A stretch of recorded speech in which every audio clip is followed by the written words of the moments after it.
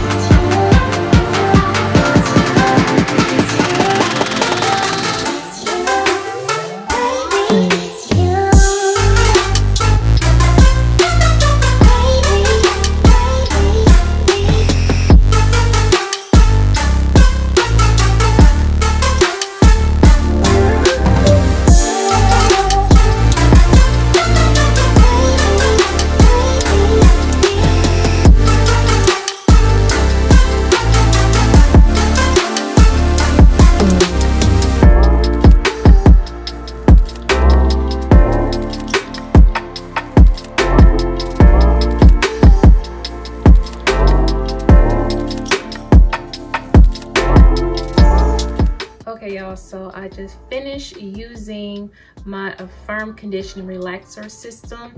Now, let me just explain this because I'm going to be now moving forward to the next process of my relaxer. The relaxer choice that I'm using the, is the ORS.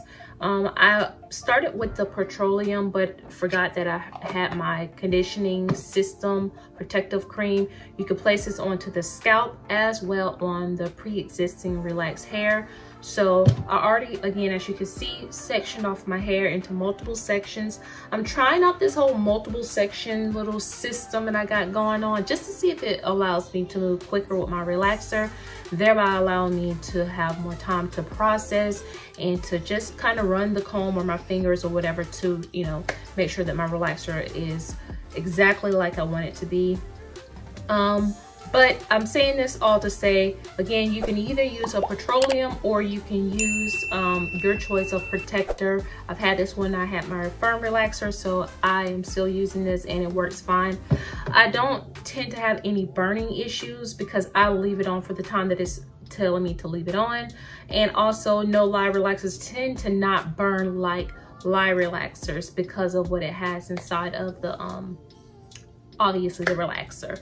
But again, I'm gonna show you the relaxer that I'm using. This is just gonna be one section because again, this is how I prepare my hair for a relaxer. I don't just jump into a relaxer. Two weeks and a week ago, I have been just basically oiling my scalp with um, my mixture of clove oil, rosemary, fenugreek. I'm gonna show you what that looks like as well. So this is the mix of oil that I've been using. It has black castor oil and this is a whole bunch of good oils. If you have not watched that video, make sure you look up the iCards because that's what's been helping aid in my moisture as well as with retaining um, retention of my hair. The moisture that I am using and have been using is the DIY moisture that I made, which is my um, mango butter, in which this is so moisturizing and it smells so good. Um, but going back to my relaxer, this is the relaxer that I use, which is no, no lye in normal strength. I don't do the whole extra. I don't need all that. It's too strong. But I like this because of the products that are also in them. But I will be, again, sharing that in the next video. So definitely if you are not already subscribed make sure you subscribe so you can see my tips and things that i do. Again adding to my relaxer and so forth. I will see y'all in the next video. Thank you so much for staying tuned. If you're not again subscribe. you want to subscribe honey because we are on a hair journey. I am so excited to see where my hair falls. I am so excited. But needless to say i will see you all later. Bye dolls. Stay tuned this sunday for relaxer day